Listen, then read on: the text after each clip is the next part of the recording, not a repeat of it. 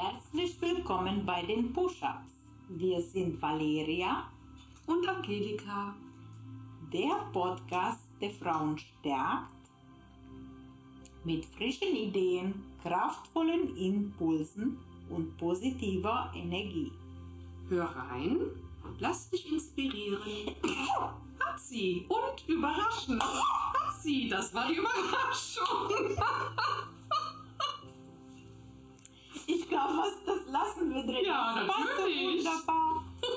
Wir sind so authentisch. Genau. Wir bringen euch heute so ein schönes Thema mit. Danke, Angelika. Also heute möchten wir mit dir über deine Vorbilder oder meine Vorbilder sprechen. Es geht um Bewunderung. Welche Menschen bewundere ich? Wo lenke ich meine Aufmerksamkeit hin? Denn bewundern ist etwas toll finden und während wir jemanden bewundern, dann lenken wir unsere Energie dorthin und heben denjenigen noch ein bisschen mehr. Alles, was du an anderen Menschen erkennen kannst, steckt auch in dir. Na? Also diese positive Eigenschaften der Personen, die du bewunderst und aufschreibst oder die, die anschaust, die du jetzt erfährst, auch die stecken ja im Grunde auch in dir.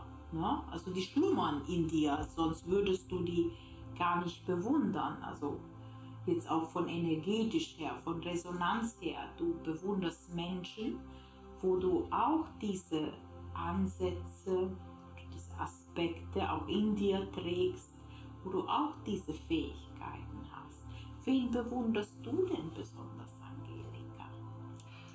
Also mir fällt da gerade eine Geschichte aus meinem Leben ein, wo ich in, während der Coaching-Ausbildung meinen Mentor bewundert habe. Und wirklich, ich habe hab den mit Staunen betrachtet und habe gedacht, boah, der ist so toll, der ist so intuitiv, der ist so kreativ, der macht das fantastisch. Und kurze Zeit später wurde mir dann aber bewusst, dass das, was ich in ihm gesehen habe, mein Spiegelbild war und ich das in mir trage, was ich in ihm gesehen habe. Und das hat mich dann nochmal, hat mich wirklich in dem Moment sehr überrascht, weil es mir bewusst wurde. Und das fand ich so schön und habe gedacht, wow, ja, du hast so viel für dich schon gemacht, gelernt. Ich bin ja ganz neue Wege gegangen. Ich habe ja Sekretärin gelernt und habe dann irgendwann, weil ich ähm, ja meine Themen, die ich da mit mir rumgeschleppt habe, auflösen wollte, bin ich ja zum Coaching gekommen durch Zufall. Habe mich ein Jahr lang coachen lassen und habe dann die Veränderungen in mir gespürt und habe dann gedacht, boah, wie machen die denn das, die Coaches, dass endlich mal was Positives in mir passiert und habe dann ähm, ja, habe dann selber dann Coaching-Ausbildung, also die erste angefangen und hatte dann so viel Spaß und Freude und Du auch hast du gar nicht mehr aufgehört. genau, habe dann, du setzt ja das direkt immer um, was du lernst, ne? Und habe dann bei anderen die Entwicklung miterlebt und meine eigene Entwicklung miterlebt und dann bin ich genau, das war dann, boah, das hat eine ganz neue, habe ich eine ganz neue Richtung eingeschlagen und habe dann da immer weitergemacht und auch wirklich, also da, wo ich ich habe das so bewundert, was, was ähm, also viele bei Facebook oder bei, bei Insta oder ne, in den sozialen Medien Menschen bewundert, wo ich heute feststelle, ähm, nö, heute bewundere ich die gar nicht mehr. Also ich finde es schon toll, was sie machen und was sie erreicht haben. Das, das bewundere ich weiterhin. Aber heute habe ich ein ganz anderes Bewusstsein und äh, sehe dann auch meine Fortschritte. Und das finde ich nämlich auch so wichtig, sich selbst zu bewundern oder das auch zu erkennen und anzuerkennen, die eigene Entwicklung, die man selber Macht. macht. Hast du dich, du hast dich doch bestimmt auch weiterentwickelt, oder Valeria? Ja, natürlich habe ich mich weiterentwickelt. Also ich war früher auch, also in jungen Jahren, also eine sehr unsichere Persönlichkeit. Also mutig war ich schon immer, aber so jetzt von, von, von Menschen zu sprechen, natürlich auch mit, mit, das ist Deutsch ist nicht meine Muttersprache und ähm, ich war dann halt auch was unsicher. oder unsicher, jetzt sagen wir mal in Kindererziehung oder unsicher in vielen Dingen, was man so im Leben macht und durch äh, natürlich durch Persönlichkeitsentwicklung und auch durch Erfahrungen, die man macht, wächst man auch daran und natürlich hat man auch einige Vorbilder, die man auch so im Hinterkopf doch irgendwie toll findet und ähm, ja auch gerne das ganze Leben so haben möchte oder man kreiert sich ein Bild nach ihnen so in gewisser Art und Weise. Das können auch, das können Stars sein oder Mentoren, das können aber auch ganz normale Menschen sein, wo du wirklich darauf hochguckst, wo du sagst, wow, wie toll, wie macht die das, wie schafft die das, wie, wie bekommt sie so viele äh, ähm, Themen jetzt oder so viele Aufgaben wirklich geregelt, wie macht eine meiner Vorbilder war, also das vergesse ich nie, also ich fand das so toll, also war ich noch ganz jung, also mit Fernsehen, das war eine Serie, ähm, die Familie Bill Cosby, so hießen die dann. Also das war jetzt ein Zahnarzt, ein erfolgreicher Zahnarzt und äh, eine Juristin, seine Frau. Ne? Und ähm, beide sehr erfolgreich und hatten dann noch vier Kinder und die haben Beruf, Erfolg und Familie, also so unter einem Hut und Haushalt und was so alles äh, noch mit reinspielt unter einem Hut bekommen. Und das fand ich jetzt so, auch wenn das jetzt ein Film war, das fand ich großartig, dass man halt auch diese, diese Basisfamilie sie durch ihre Erfolge auch getragen hat. Und die waren ja füreinander denn da. Das fand ich also wirklich toll.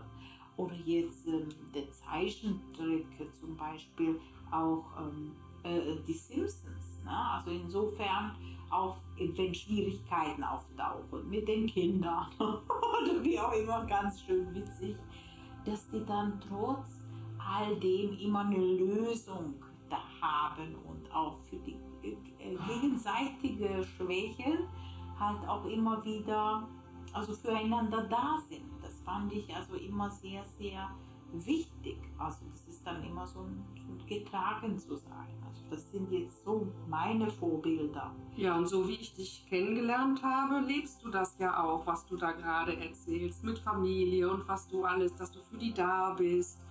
Und äh, ja, das, was du dort gesehen hast, das steckt in dir drin. Das finde ich immer wieder faszinierend. Mein großes Learning war noch, das möchte ich dir gerne mitgeben. Ich habe mich früher immer verglichen. Ich habe die dann bewundert und habe dann gedacht, ja, ich kann das aber nicht oder ich bin ja nicht so oder noch nicht so. Und dann habe ich mich natürlich schlecht klein gefühlt gemacht. und klein gefühlt und genau, klein gemacht und schlecht gefühlt. Und heute habe ich aber verstanden, dass ich, wenn ich jemanden bewundere, dass ich mich hier inspirieren lassen kann. Also das nutze, um mich inspirieren zu lassen, statt mich zu vergleichen. Also bitte vergleiche dich mit niemandem, weil du bist einzigartig. Und es macht keinen Sinn, sich mit irgendjemandem zu vergleichen. Es macht null Sinn. Aber lass dich inspirieren. Schau, was dir gefällt, was derjenige macht. Und dann schau, wie du es in deinem Leben integrieren kannst. Entweder ein Verhalten, wenn eins, ich habe das früher tatsächlich gemacht, ich habe mir gerne von Menschen was abgeguckt, wenn die was Tolles gemacht haben, dass ich mir gesagt habe, oh, das mache ich auch. Oder wenn jemand was gemacht hat, was mir überhaupt nicht gefallen hat, irgendein Verhalten, was weiß ich, rumbrüllen oder so, dass ich gesagt habe, nee, das ist ja total blöd, das mache ich nicht. Da habe ich dann die Entscheidung für mich getroffen, ich mache das nicht. Also lass dich von anderen inspirieren inspirieren. Positiv. Positiv inspirieren, ja, genau. Und äh, ja, schreib dir ruhig gerne mal auf, was du an anderen bewunderst. Such dir eine Person aus oder zwei und dann schreib mal alles auf, was du an diesem Menschen bewunderst.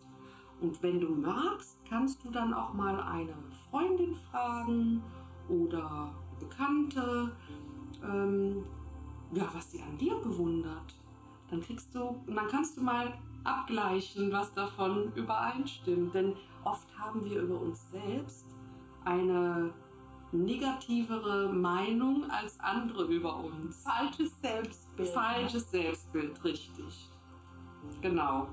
Und ähm, ja, das gilt es zu korrigieren. Also und wenn du dann natürlich auch den Fokus darauf hast, was du an anderen bewunderst und was du in dein Leben noch ziehen kannst oder was du noch haben möchtest, dann gehst du ja auch schon in eine positive Richtung. Ja, weil dadurch, dass du da deine Gedanken äh, richtest, zum Beispiel, wenn du jemanden bewunderst, der eine tolle Figur hat, dann inspirierst du dich auch und schon dein Unterbewusstsein kreiert das schon im Hinterkopf. Ja, wenn du jetzt zum Beispiel sagst, wow, die hat wirklich eine tolle Figur, trotz Kinder und so weiter und so fort und trotz äh, ihre, ihres Alters, dass die da immer noch sportlich ist und so attraktiv ist und so eine schöne Figur hat, dann motiviert dich das indirekt. Wir hoffen, wir konnten dich auch motivieren und inspirieren und wir freuen uns also auf jeden Fall, wenn du uns auch weiterhin bewunderst.